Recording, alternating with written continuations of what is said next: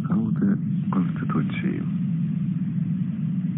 Політики використовують основний закон країни так, як їм заманеться.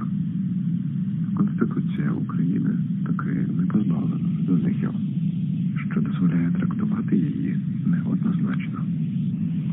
Не псуючи паперових примірників, працюючи в Lightshot і Paint,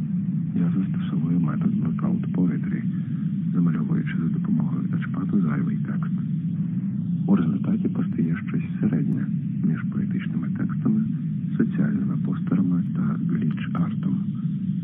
Принципово не використовую Photoshop і не переймаюся якістю картинки. Зміст залежить лише від вашої уважності.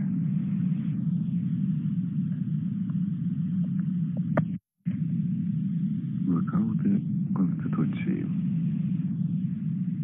Політики використовують основний закон країни так, як їм заманеться. Конституція України таки не позбавлена році нашої прекрасної конституції говориться, що життя, недоторканність та безпека людини є найвищою соціальною цінністю. Та хіба ж це так?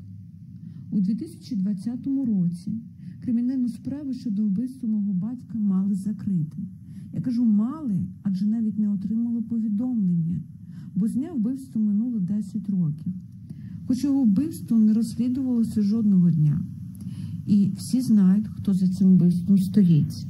Саме тому я обрала кримінальний кодекс. Сама практика блекауту щодо кримінального кодексу спроба показати, що законодавство в Україні може інтерпретуватися в будь-який спосіб. Так чому б не мистецький? І водночас спроби підірвати мертву мову законодавства, що не працює, унаочнити її абсурдність.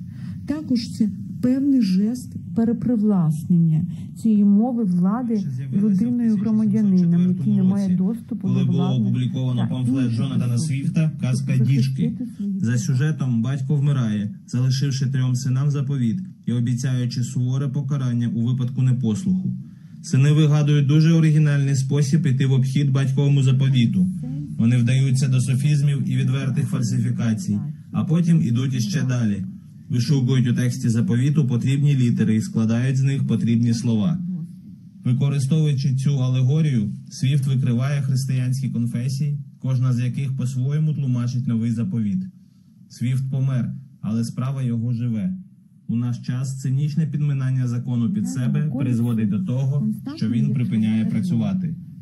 Наслідки цього ми спостерігаємо ледь не кожен день рівнях. асоціація з самим поняттям кримінального, а з іншого метафора примноження зла. Адже нерозкриття та замовчування злочинів уможливлює нові злочини і нове насилля.